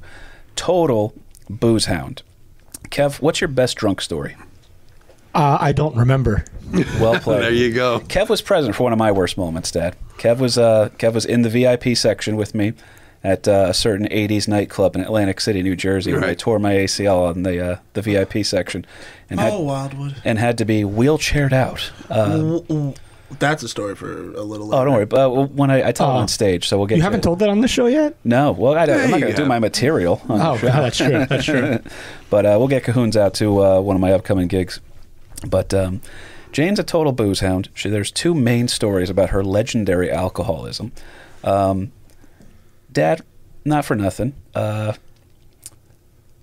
you, you ever, you know, sometimes you lose track of time.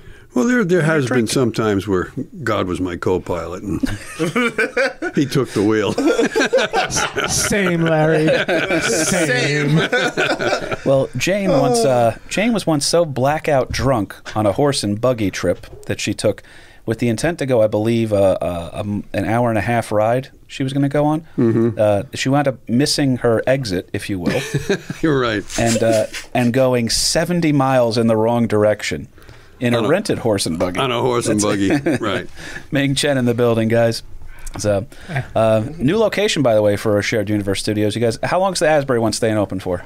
Uh, right now, tentatively uh, to the end of February. Um, they're hinting March is a possibility, which would be cool because it's going to get um, warm in March. Foot traffic, awesome. baby. Foot traffic. And, and beyond that, who knows? So We want to do one in there. Yeah, let's do it. okay, Let's do it. Why not? We'll Why figure not? Hell yeah, man. So, Ming Chen, the boss doesn't come in all the time, Dude, guys. That's exciting. I, I walked into the other studio to tap up to tap us off on these beers, these Ross Brewing Company beers, and he was there. I'm just like, all right, I don't know what to do with myself right now.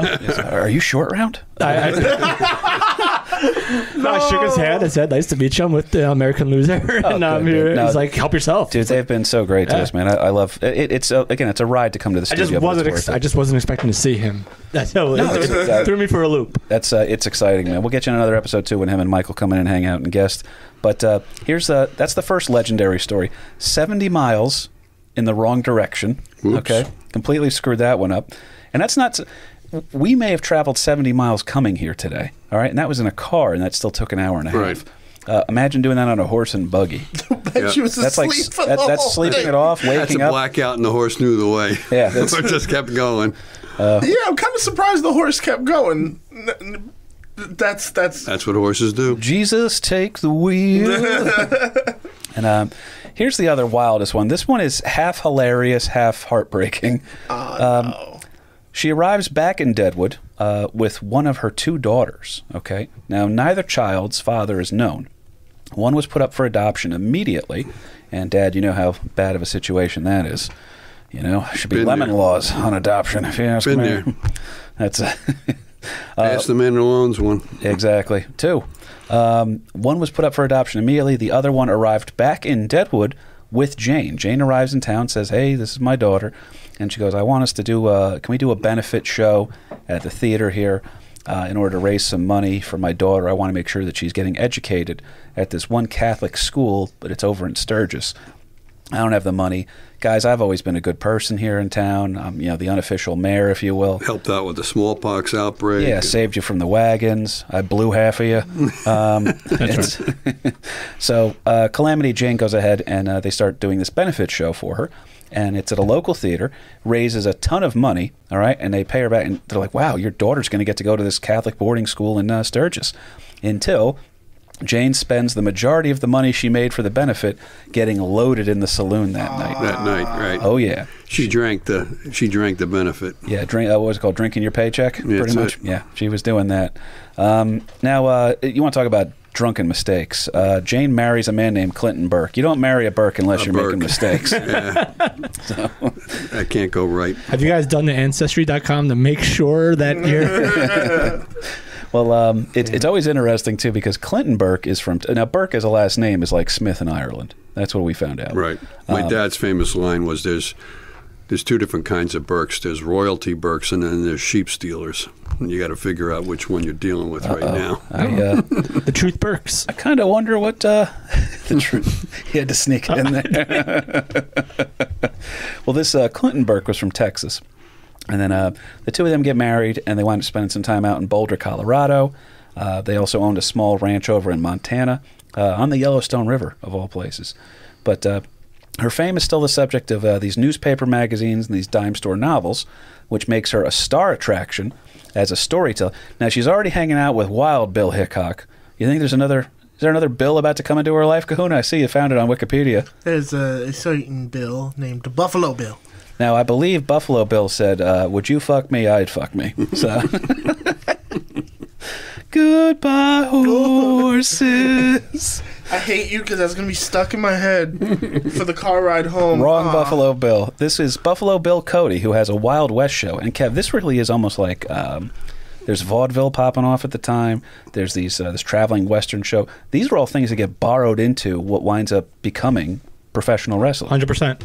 So Yeah. you add a little bit of carnival flair to Right. it, and that's that's the recipe, brother. You got the circuses, you got the Wild West shows, Mm-hmm. you've got you know the P.T. Barnum aspect of it, this whole thing, and a lot of these uh, famous Western um, personalities are now trying to make a buck off of uh, what happened uh, 30 years ago. Very true.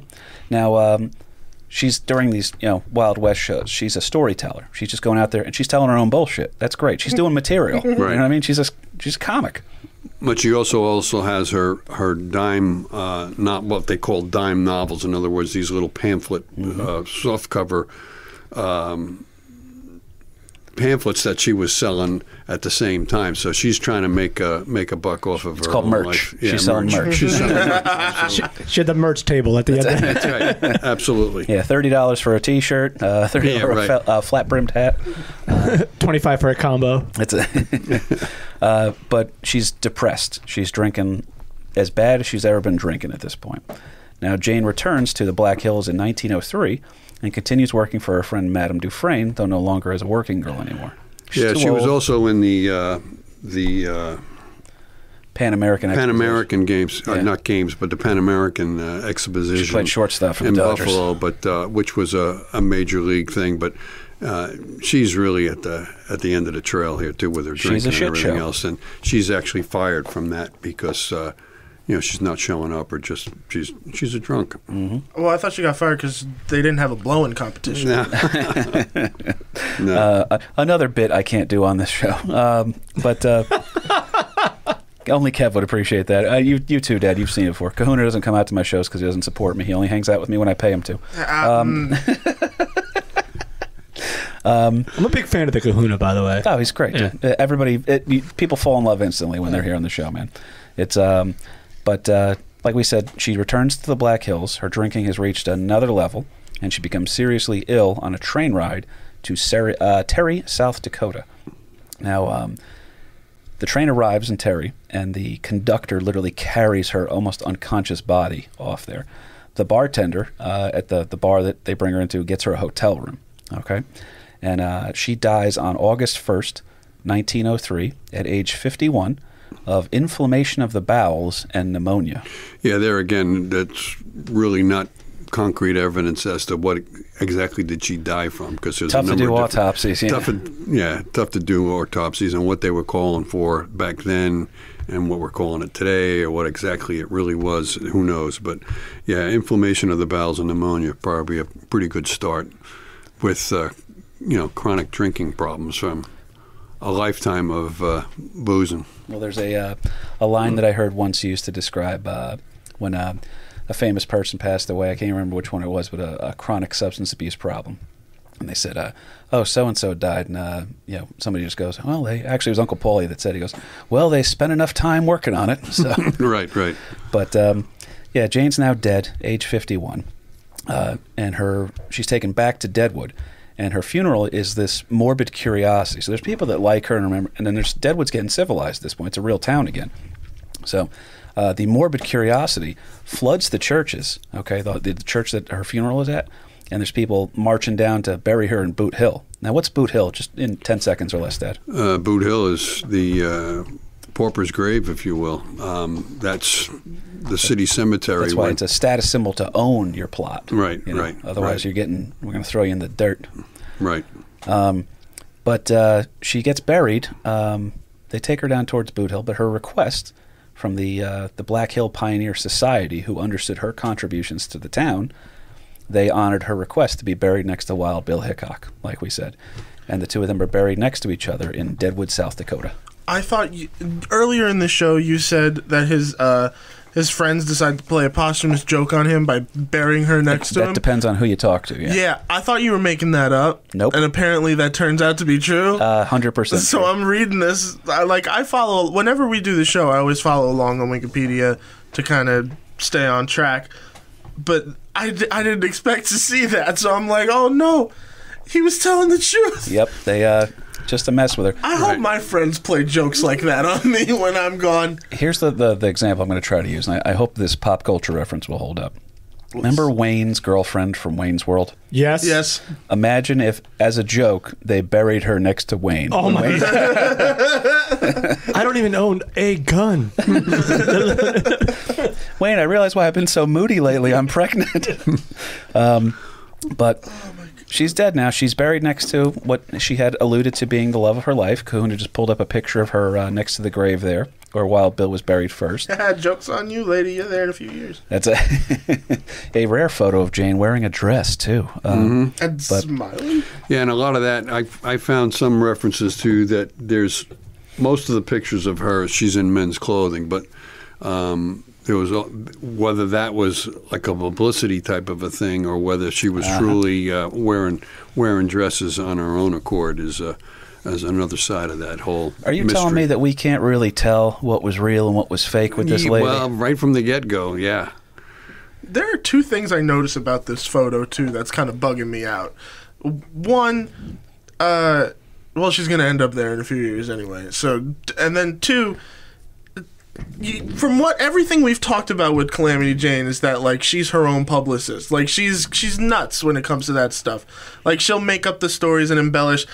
Wasn't it a huge deal to take pictures back in the day? So behind this photo is just like a huge setup of like, That's a good point. That's a great point. Yeah. and the fact that she's posing and she's posing Yeah. and smiling, which I don't Yeah. think I've ever seen in like an old photo. Which you have to stand still very, very long And you would have, like, for the- these photos. yeah. Yeah, Yeah. but by this time, though, by the 19, catching up. by 1901, 02, or whenever this was taken, she, she died in 1903.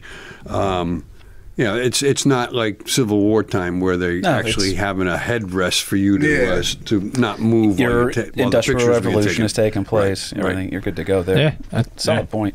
S- smarter than us, that's for sure.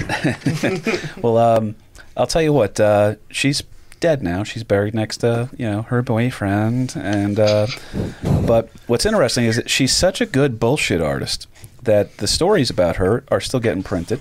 Magazines are running art. Magazines are starting to come out around this time. The dime store museums now have dime store novels, like you were saying too, Dad. That she is a regular feature in. Because what a what writer wouldn't love a premise like that? Oh, the lady cowboy. Yeah, and and the uh, the dime novels were just generating one after the other. They would take the same story, slap a different color. Uh, color was a big thing to put the uh, at least the cover of these dime novels in a in a color to, to draw attention to it. Um, or they would just change the cover on the same old story and re-release it over and over and over again, and they're still making money on this whole thing. But you know, people are eating this stuff up, so it's uh, it's the uh, the shop the shopper uh, rags that you see at the checkout counter that uh, you know that that's really what it was. It's for the common person, the, the lowbrow uh, Again, reader, lowbrow, the, working lowbrow class reader. people. Well, Yeah. what, what's the next thing that's about to come? You got the radio that's about to pop up. She's going to have uh, the serials on radio, of which she was a regular on. Um, and then there's the uh, the other new exciting invention, television and the talkies. Right, so got a lot of stuff coming on over here. Jane has been played. She's got like she becomes a mainstay for TV and movie westerns. That's how I heard about her. Was she was always mentioned because I like. Yeah, I mean, even after her death, her Oh, yeah. her legend just grew bigger and bigger and bigger. Like Kev said, she sounds like a pro wrestler. Right. That's you're not going to hang on. What, what'd you say your name was again? My name is Captain Chaos. yeah, huh? Why are you driving the Super? Um, but uh, Jane becomes a mainstay on the TV and movie westerns, uh, and most of these decide that they're going to follow a less accurate and more kind of a mythical or mystical presentation of Calamity Jane. So some of the actresses that have portrayed Calamity Jane would include Catherine O'Hara, Kevin McAllister's mom from Home Alone, all right, uh, Ellen Barkin, uh, a very attractive woman, uh, Jane Alexander, a very attractive woman, Anjelica Huston, no comment, uh, uh, Jane Russell, um, who was. Who was uh, certainly A hottie smoke for her shot. Oh, time. she was gorgeous. She was she was the brunette Monroe that they would cast the two Right. of them together. I Absolutely. think sometimes if you wanted to have do blondes really have more fun, I have a theory on that. Um, and then uh, Jean Arthur, uh, as Kahuna pointed out, Yvonne De Carlo of the Munsters would Yeah. portray her. Uh, another person that would uh, portray her would be Frances Farmer, okay, who will be an episode of this show. I, her story is so fascinating. Uh, Cahoons, are you a Nirvana fan? Okay, Kev. A little bitsy. All right, there's a Nirvana song called uh, Frances Farmer Will Have Her Revenge. And uh, she was um, a beautiful young starlet who then got uh, uh, forcefully taken to a psychiatric facility and had a forced lobotomy done on her. Ooh. Yeah, it's it's pretty wild stuff. But uh, and then most famously, obviously, uh, she was played by Robin Weigert on the HBO classic show Deadwood. Now, Deadwood gave her the most accurate portrayal. It wasn't historically accurate, but they did play her up. Now, this is where the contrast comes in. I left the one name out that I know you're waiting for, Dad. I know you're waiting. Um, the one name I left out here is 'cause- so Robin Weigert's uh, Calamity Jane on Deadwood is accurate. She's gruff. She's wearing the men's clothes. She's a drunk. She's farting and burping in people's faces. Sexy. She's covered in dirt. She curses her like she curses poetically Right, on that right, show. right. It is. Also, Make a- she is from New Jersey. Make a There's one episode of uh, Deadwood where her only line of dialogue is that uh, she's passed out on her horse on the outskirts of town that she went to get a drunk on or whatever. And uh, she's passed out on the horse, and someone rides past her, and she just pops up and just goes, cocksucker. and that's her entire line for the entire episode. It's It was just so good. But she gives us like kind of a more uh, true to spirit version of uh, uh, Calamity Jane here. Now, if you want to take that in a hundred and as far removed from a rough looking chick here, Dad, is there a certain blonde, gorgeous, just dime piece? was the heart- the heartthrob of the 50s yeah, Yeah. and, and later into the 60s yeah to me personally i think the the uh, pinnacle of absurdity for um, female characters to play calamity jane's role would be uh, in a 1953 musical with Doris Day. I mean, this chirpy little blonde uh, is now playing this uh, hell bent for leather, uh, you know, Calamity Jane character. That Doris Day, really? You're going to put Doris Day as a Calamity Jane? I don't think so. It's a well, not for nothing. If Doris Day was blowing guys at an army base, There would be a line three think we would have heard about it. So, but yeah, Cahoon's pulling up the photos. here. It, it's literally, it's almost like um, like a fantasy for a guy, you know, where it's just a, a beautiful woman is this like tough frontiers woman kind of a thing. And uh, Cahoon is going back and forth between the Doris Day photo of her and like the buckskin looking like Davy Crockett. I'm gonna, I'm gonna, I'm gonna have an epileptic seizure right now. yeah, But uh, you got to feel like like th- that that depiction of Calamity Jane has just got to be to sell. I guess oh, totally. for Why, sure, why wouldn't right? it sell? Yeah. She, uh, Doris Day was one of the biggest stars of her day. 100%. And you got a great story that hasn't been told yet in a motion picture. So you're going to go with it. And again, they made it a musical too. yeah, so I- Right, I mean, yeah, yeah, right, right, right. I So, like- killed some Minjin, sucked some dick, doo dah. yeah. So I don't think And people And I woke up on my horse and screamed, cocksucker.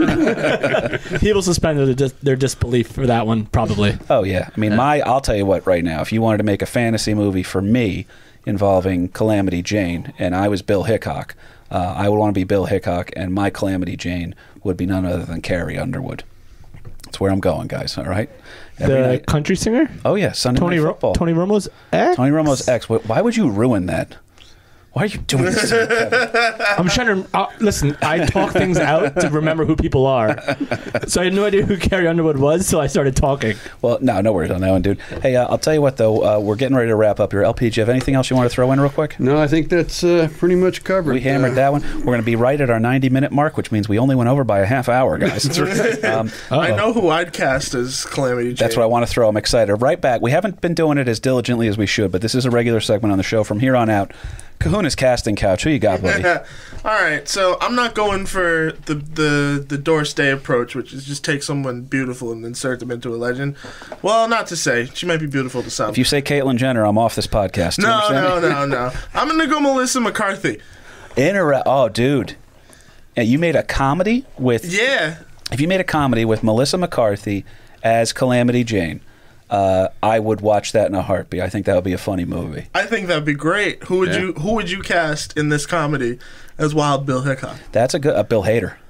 Oh my God! Because the man can't do anything wrong. He's our he's our second coming of Bill Murray. There's nothing they're bad in.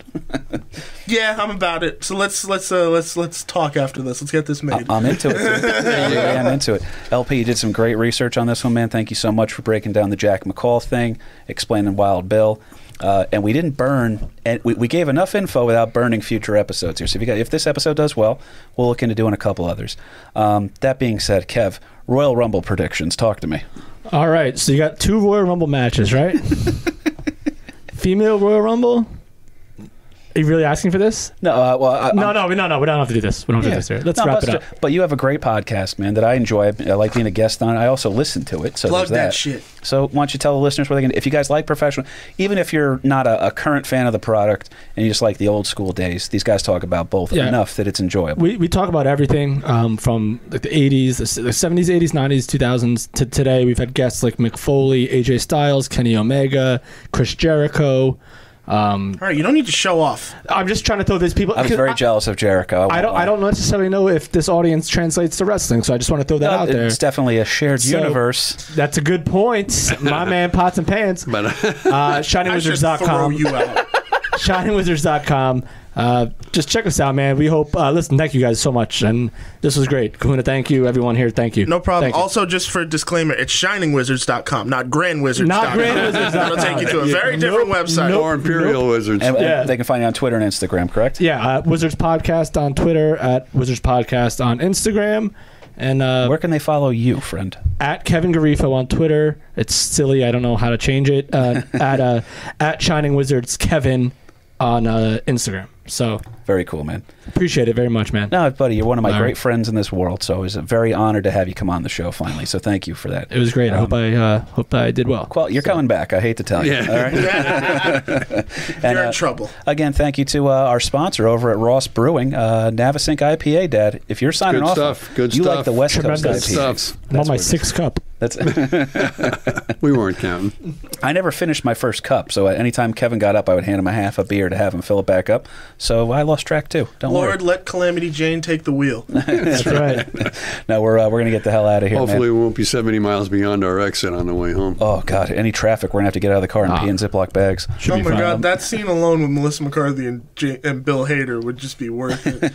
uh, I'm gonna write this now and hope to I'm God okay with you doing it, buddy. All I I'm ask gonna for- make it like Blazing Saddles. I just want a special level thanks. Funny. Special thanks is all I ask for. I got you. I got you, and a walk-on roll. That's uh, or just you know, Carrie Underwood's phone number, whatever you come up with first. I got you. Oh, she'll play. uh She could play. uh The Madam Yeah, Do- uh, Dora DuFran. DuFran. DuFran. Yeah. So not bad on that one, man. So I think we're sitting on a couple of gold mines here. But that being said, guys, Mike and Ming, thank you so much for taking care of us here. Uh, Shared Universe Studio, you guys make this happen. You really do. It's fantastic. If you guys like the show, it's America Loser Podcast on Instagram. Uh, and if you really like us, uh, the, the best way to help us out, we're giving you all this shit for free. All right. My father's retired. I make him write a research paper once a week. Really? Absolutely. He's getting ready to go down to Florida, spend a little time with, uh, you know, he and my mother like to go down there and spend their winters. Uh, well earned, too. All right. But South Beach Larry is returning, which is great for him. However, we're not going to have LP on for a couple of weeks here. So, guys, what I ask of you is if you like the show, uh, again, it's all for free. Just leave us a written review over on iTunes. It helps us out a lot. It helps build us up in the rankings. We're trying to do that. I don't want to charge for the show, okay? Uh, but it does cost me money to do this every week. And if you guys like it, that's all I'm asking for right now. So do me a favor.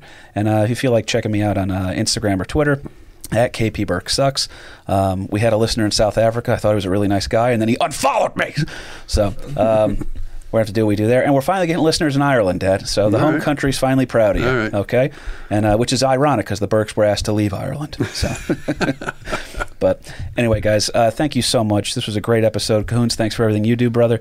And guys, that was Calamity Jane, American loser. An American loser the day I was born. An American loser the day I was born. An American was the day I was born.